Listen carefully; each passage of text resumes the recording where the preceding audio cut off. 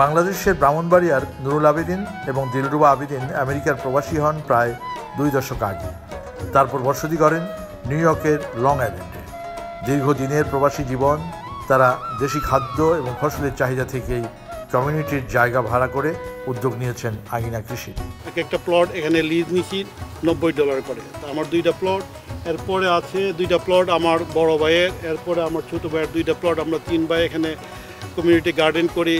মোটামুটি আমাদেরকে সবাই চিনে এবং আমাদেরকে দেখে অনেকে ইন্সপিরেশন হয়েছে। আমরা চ্যানেল আয়ের হৃদয়ে মাটিও মানুষের অনুষ্ঠান দেখি, সেখান থেকে আমরা ইন্সপায়ার্ড হয়েছি। তো আমরা আরও অনেককে বলছি, তারাও সেই প্রোগ্রাম দেখে এবং গার্ডেনিং করে। পাশাপাশি দুটি প্লটে বহু রকমের শাকসবজি।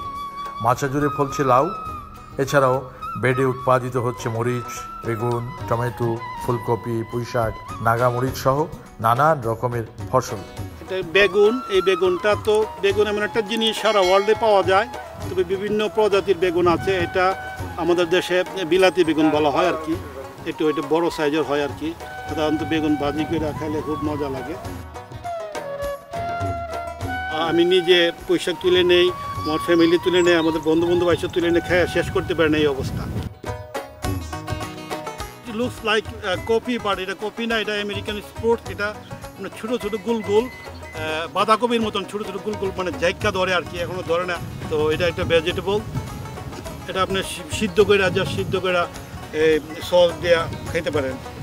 আমি সাধারণত ভেজিটেবল লাইক করি, এবং বিশেষ করে ড্যাঙ্গা শাক দিয়া ছুটকি দিয়া বাংলাদেশি স্টাইলে আমরা এখনও বাঙালি খাবার খাই এবং নিজে এখন নিজের গার্ডেনে করা বাগানের ফল খেতে আমাদের ভালো লাগে এবং অনেক ফল হয় আমরা আরও আমাদের বন্ধু বান্ধব যারা আছে তারাও নিয়ে খায়।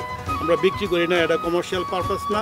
আমাদের আত্মীয় স্বজন এখানে আছে ফ্যামিলির লোকজন আছে, তারা নিয়ে যায় এবং আমাদের যারা বন্ধু বান্ধব নিউ ইয়র্ক সিটিতে আছে, ওখান থেকে ওরা আসে আসে পিক আপ করে। তো আমরা এটা জাস্ট কমিউনিটি সার্ভিস দিচ্ছি।